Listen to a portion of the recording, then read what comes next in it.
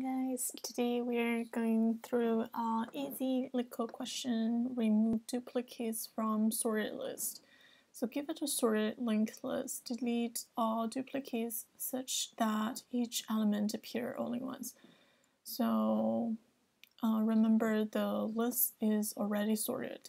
So there's two, one, so remove that, uh, just get one, two and there duplicates of 1 and 3 and your output should contain no duplicates so it's 1 2 3 so um, the question itself is pretty straightforward. You um, basically need to check whether your next node's value is the same as the current node. Uh, and um, because you are given um, the head list node. So you need um, another pointer to keep track of uh, where you are going.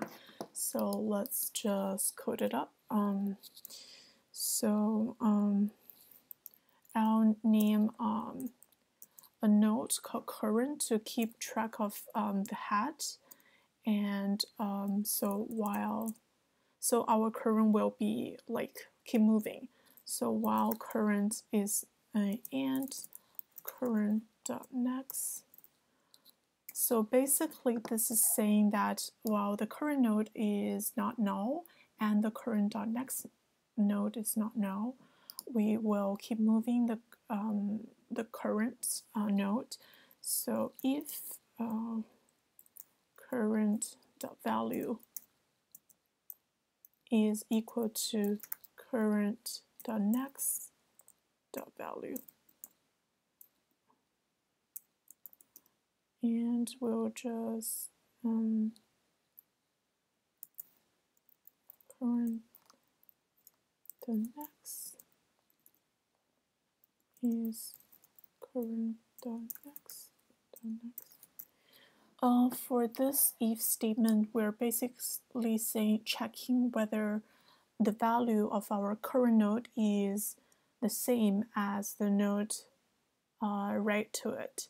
If it's true, then we will just pointing the current node's pointer to the next next node. Uh, so basically, this is how you delete uh, a node. Okay. If it's not the same, then the current node, just go to current.next.